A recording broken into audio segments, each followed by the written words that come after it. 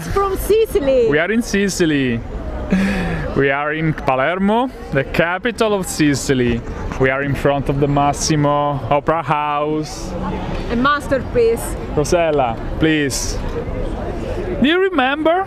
Maybe someone of you uh, saw the Godfather trilogy by Francis Ford Coppola. This is the location of the third chapter of the trilogy. Massimo Opera House is one of the most beautiful theater in, uh, in the world, the third largest uh, theater in, uh, in the world. And so, Gianca, please share with our friends why, the reason why we are here now. We decided to, to give you a special gift. This is the first. In the next days, you will receive uh, other gifts. Uh, this is the first one. Uh, we decided to to give you a, a, great experience. It's a virtual experience, of course, but it's a great experience. We will give you the chance to discover Palermo. We will meet in uh, in few minutes a tourist guide and we will let you see the most important tourist attractions. So, I already know that uh, uh, always a lot of people ask uh, uh is it Palermo worth visiting? Is it Palermo safe? Is it Palermo a beautiful town? So yes, we will try.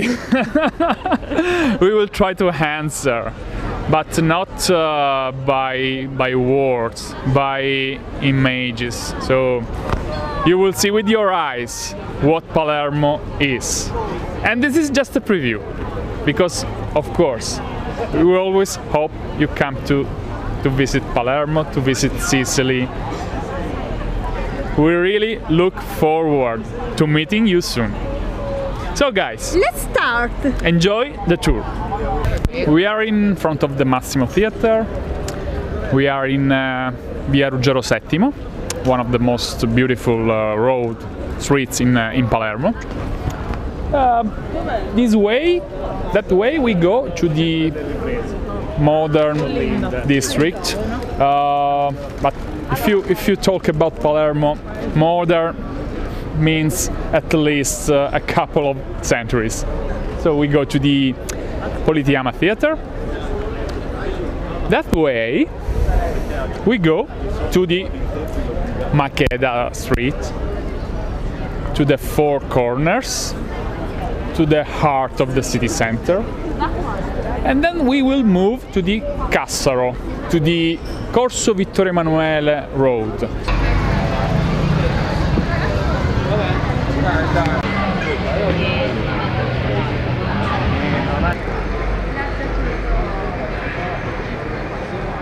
So we are now in the heart of the city center. I am the, in the center of the square. This is called Quattro Canti, in English, four corners. Because if you see, first, second, third, and fourth every corner represents something different. The four season at the first stage, the first floor. Four important uh, Spanish kings on the second floor. Four saints of Palermo on the third floor. So, every corner is different spring summer autumn winter philip ii the third the fourth. Then we have uh, santa rosalia santa cita sant'oliva a melting pot of different elements. The natural ones the political ones and the religion ones. A syncretism. This is the center of the center of the center of Palermo. I am in the center. this square represents the intersection between Corso Vittorio Emanuele, that from the old acropolis of the town moved to the to the sea. That's the Mediterranean. This is a very old road built from built by the uh, Phoenicians, then used by the Arabians, then by the Normans, and then of course by the Spanish. A lot of domination in Sicily, and uh, all domination left something important. And this is the second most important road, called Via Maqueda, that uh, points to the most modern uh, area of the town but of course, if we talk about Palermo, we have to consider at least uh, at least uh, a couple of centuries. But this road boasts almost 2,006 or 700 years of heritage. We go now to meet our special friend, a special tourist guide called Laura, that will teach you, that will introduce you Palermo and its hidden treasures. Bye!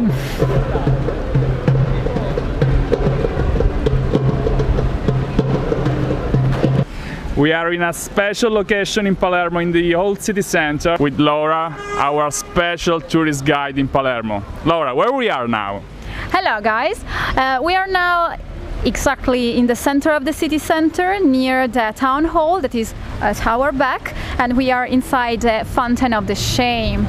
Do you know why it uh, had this name? Look! Look at the na naked statues. So we are just in the city center. The official name of this place is the Praetorian Square, uh, just because we are near the town hall that was once the Praetorian uh, Palace, the Praetorian residence. And we are in the, uh, near the fountain, the Fountain of the Shame, because the fountain was not made for Palermo, but it was made in Florence. And when uh, they decided to transport it to Palermo in the second half of the 16th centuries when all the, the, the, the, fountain was reassembled here, all the naked statues gave a scandal. They were really uh, offensive for the idea of the time. Also because we are here in a nice square overlooked by two churches, by two Baroque churches, and above all, the square is overlooked by that building over there, the yellow one, that was once a monastery, a cloistered monastery for cloistered nuns. So when the poor nuns um, looking over from uh, from their building, from their windows, saw all these naked statues here. That was quite a scandal, and that's why uh, that's the reason why the fountain was given the name of Fountain of the Shame. There on the right you can see the town hall. It is possible to visit it now because our mayor wants to underline the idea of Palermo uh, as a welcoming and friendly and open town. And um, uh, you can see here old Rosella is walking, is having a walk among all the statues with um, Greek uh, gods, goddesses, allegorical figures, animals. There are 24 heads of animals, some real animal or some imaginary animals. So it's a nice place. It's quite um, it's quite unusual for Palermo. It's a Renaissance square that is not typical from uh, our town, but it's quite interesting. While on the other side, there is another beautiful building that is the St. Joseph uh, Church, a Baroque building with this beautiful um, dome a yellow and uh, and green uh, baroque dome and uh, we can start from here to have a nice walk of the town we are inside the town hall, our palace of the eagles, because the eagles are the symbol of Palermo. Uh, it dates back uh, to the Roman age. The symbol of Palermo, the eagle, as the of the, as the symbol of Palermo. And so we are just inside the town hall. The town hall that is now open to the visit because our mayor has decided to do that. So he, there you can see the eagle symbol of the town with with the inscription SPQP as the Roman one, uh, Senato Populusque Panormitano. So it refers to the people and the city of Palermo during the Roman time. Because even if maybe I didn't tell you, but Palermo has got a very very long history. Now I'll give you a special view of a special place of Palermo. Look at this. Oh wow. The two churches you can see from here, from above, are the two medieval churches of San Cataldo, that on the right, and Martorana, that on the left, with its beautiful uh, bell tower. And they are they date back to the 12th century, to the uh, Arab Norman period. Palermo is characterized by this uh, medieval uh, style, the so-called Arab Norman. That is a beautiful style that um, tells us about a period of coexistence and cooperation between people and cultures uh, and different people and different cultures who spoke different languages because during the Middle Ages during the Middle Ages, Christian, um, Jews, um, Greek Orthodox, and Arabs, they all lived here together. And they cooperated and worked alongside each other to build these amazing uh, cathedral and churches and palaces. This is the town hall where our mayor and his uh, administration work. This is where our administrators decide our future, and the future of the town. It's a 18th century hall. Uh, these windows provide uh, a beautiful view of the fountain below.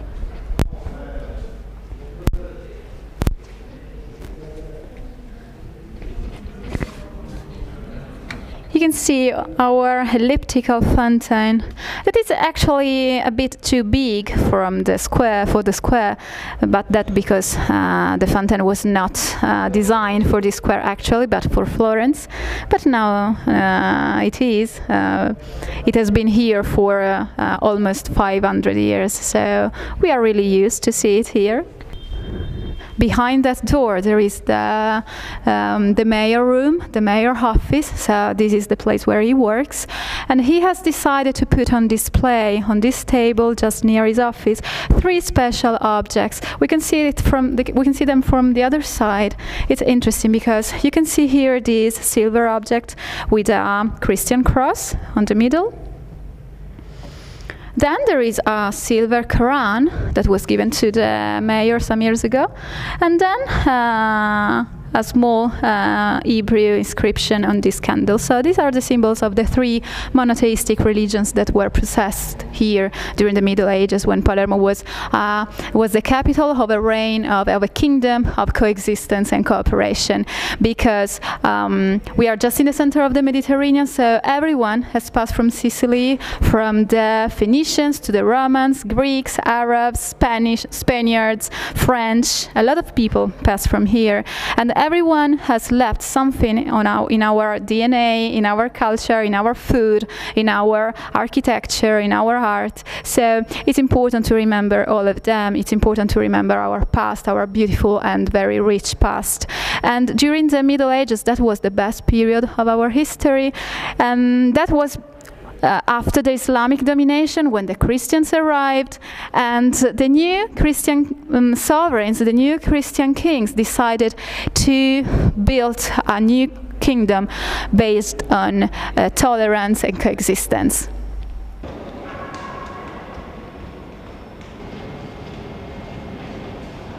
And now let's leave at our back the Renaissance period, period and let's go to the Middle Times. It's just around the corner. you can pass from uh, the 15th century to the Middle Ages just uh, in, a, in a few meters. We are now arriving to um, Bellini Square. It takes the names from the name from um, the Bellini Theater. He was a famous Sicilian composer, music composers. So these two churches on my back are uh, the Martorana Church on the left and San Cataldo Church on the right. They date back to the 12th century and they are both uh, UNESCO World Heritage Sites now.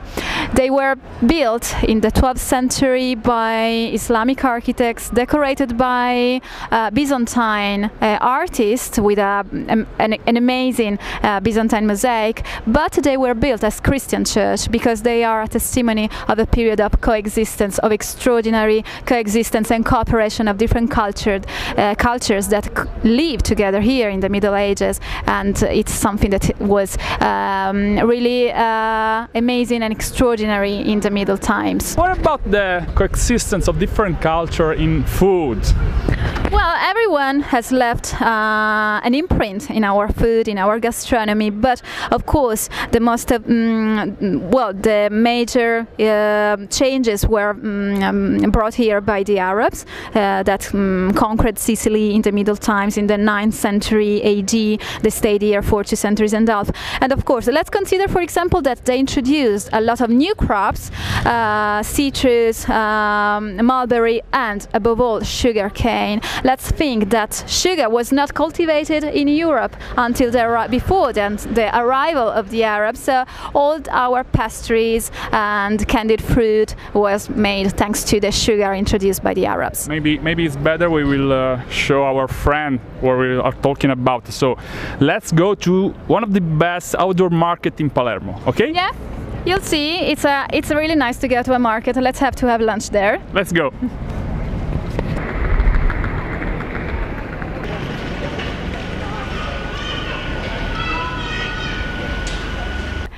And we are now going to the Ballarò district. Ballarò is still today one of the most multicultural districts of the ancient Palermo. And you can see a testimony of this multi, mm, melting pot on the street signs. As you can see, it is written in three languages, in Italian, Hebrew and Arabic. Do you feel like eating something? Okay, you have plenty of choice. The typical Sicilian street food with arancini, the small oranges that are rice balls, uh, mm, chickpea fritters, and chickpea fritters, panelle, chickpea fritters with croquette, potato, and potato cro croquettes. So, do you feel like eating something? You can come to a market. Here we are at the Ballarò market, and you have plenty of choice: street food, rolls, uh, fruit, prickled pears. Remember that um, the markets here in Sicily are not just food and markets; they are a social experience.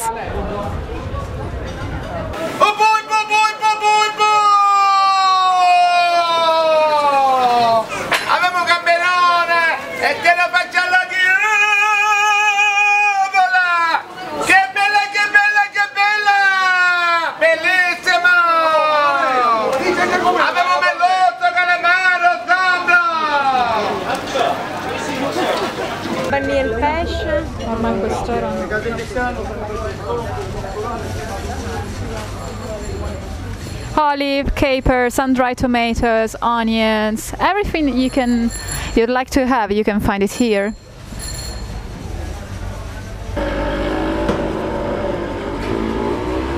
Are you hungry, Rosella? Yes, I'm very hungry. Too many information for me, Laura, so I need to eat. But can I ask you uh, what this is? Do you know that they are prickly pears that are the symbol of Sicily? But you can uh, also have uh, fresh fruit, pomegranate, watermelon. So at the markets you can choose a lot to eat or to drink also.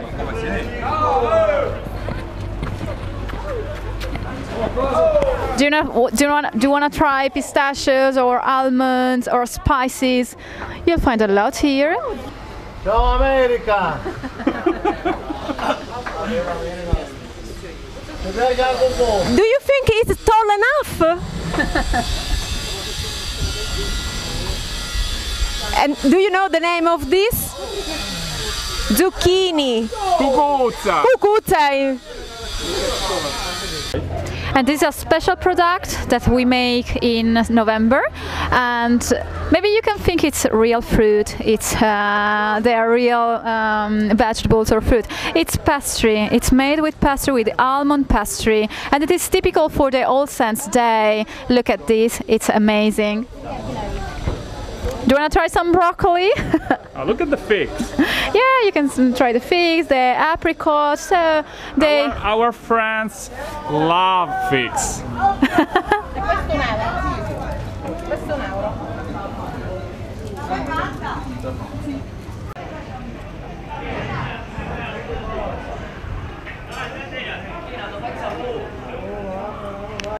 This is my favorite vegetable, eggplant.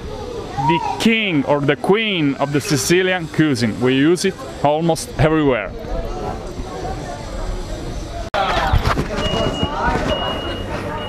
An important lesson for you.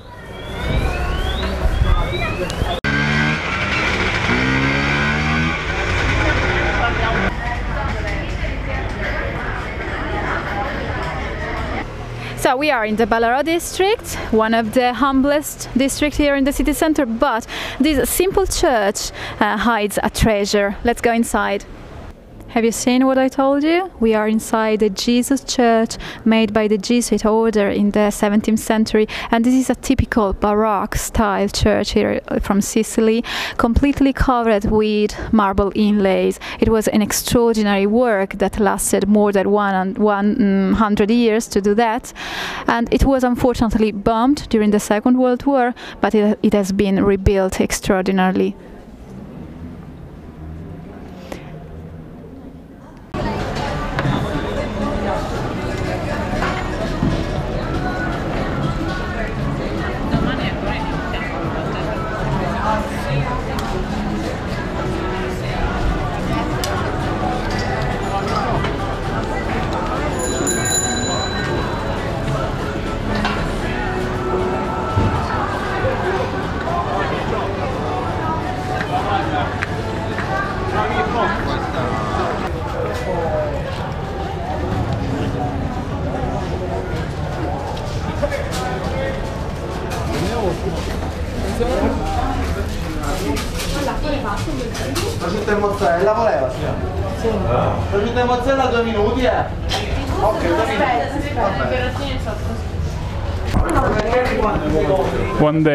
Talk about the question. The most important question in Sicily is do we have to call it arancina or arancino?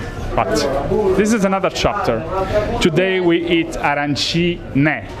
Arancina. Because we are in Palermo. Because we are in Palermo and we eat arancina.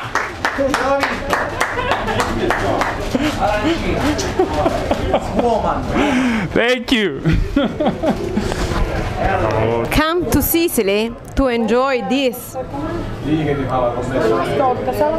Masterpiece. Tre minuti, signora.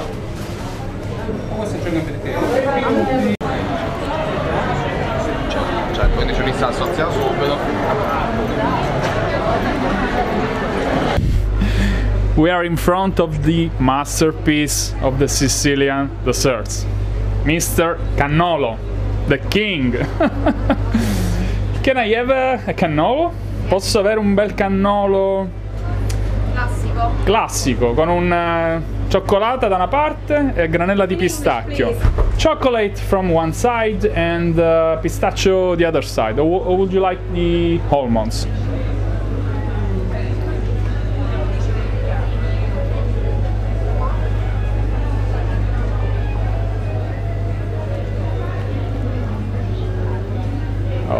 Thank you.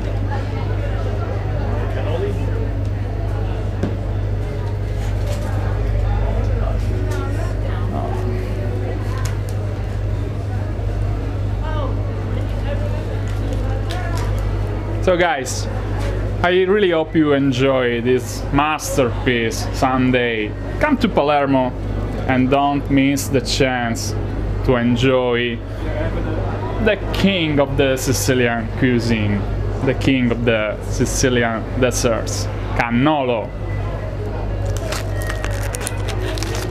Mmm. Stop, stop, stop. Another masterpiece, Sicilian masterpiece, is granita.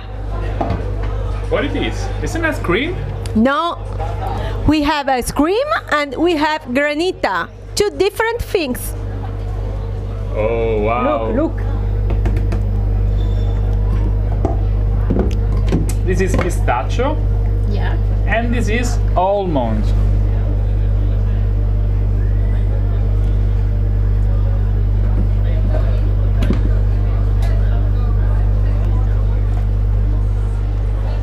Mm. And also this. What is it, Gianca? This is cassatella. It's a small cassata. Because the big one is this. Big cassata and small cassata. Cassatella. Thank you. Ciao. Ciao, ciao.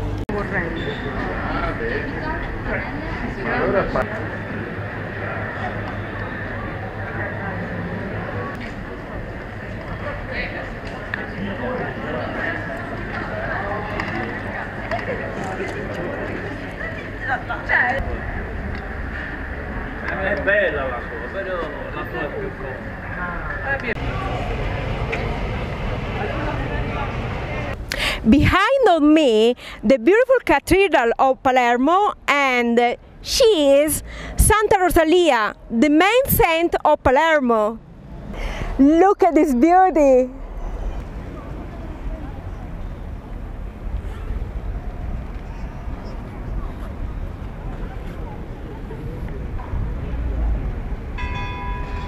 Behind us, you can see the cathedral. Uh, it's of course a must see during our uh, guided tours of Palermo. Uh, and uh, at this point, usually people uh, are thirsty and ask for something to drink. So, Also me. I need something to drink. What do you suggest me? okay, come on, let's go. Come on. Follow us.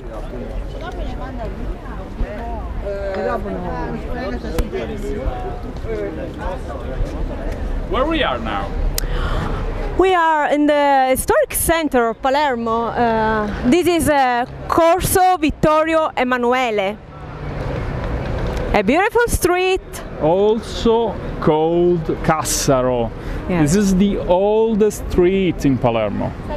From the Phoenician age, the Carthaginians who built Palermo, then to the, of course, to the Spanish period.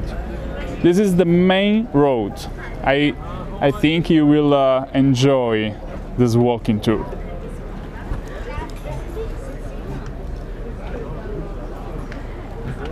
Look, look.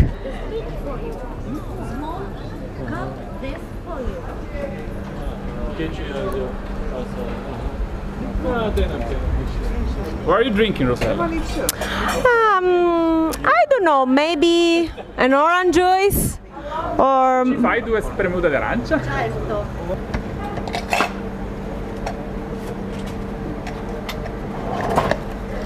Ask our friend if they know pomegranate. Yes, of course.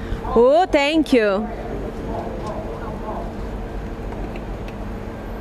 Mm. You cannot imagine what you are missing now. Front of the cathedral.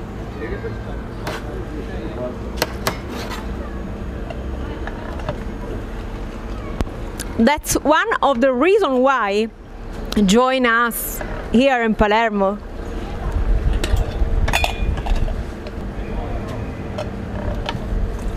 Wonderful.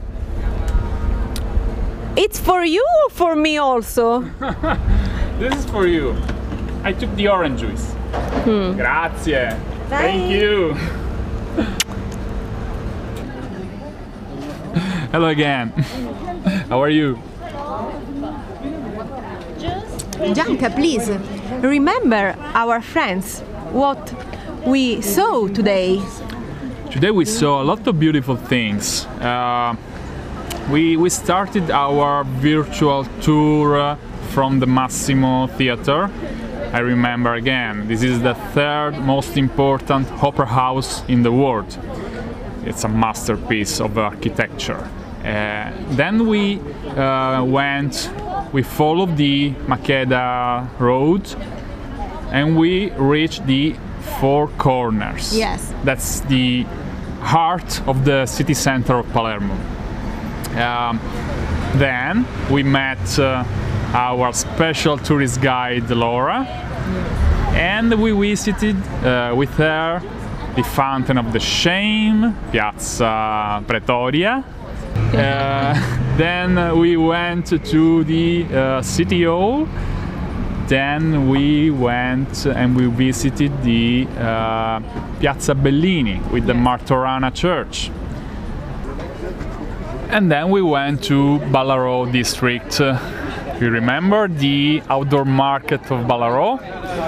And of course, the Casa Professa, the Church of Jesus, into the outdoor market.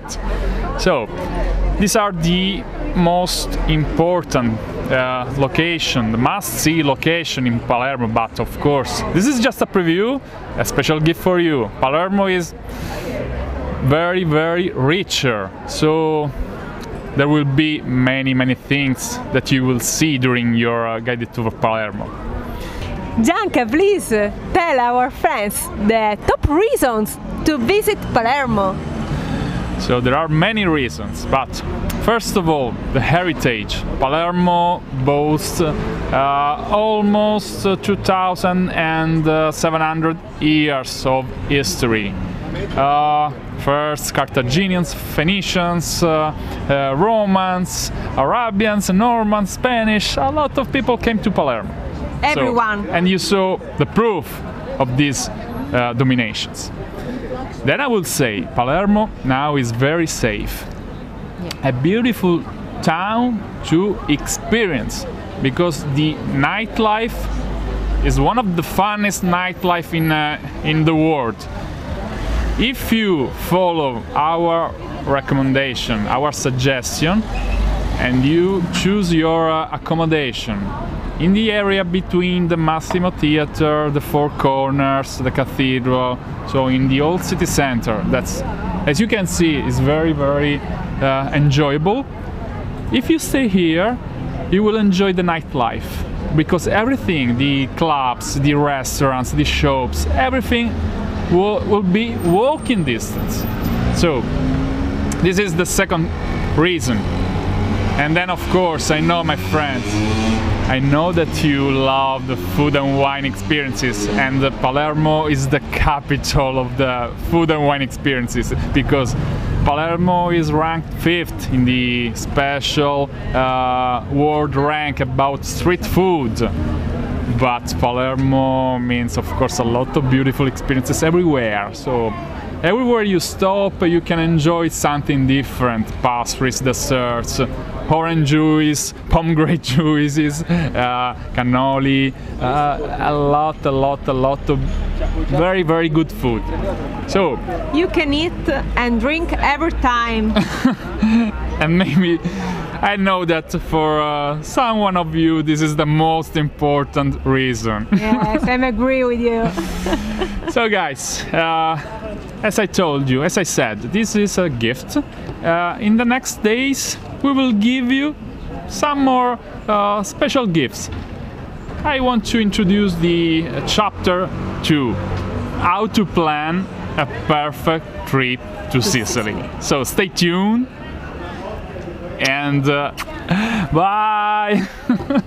Salute! Cheers! Waiting for you. Bye.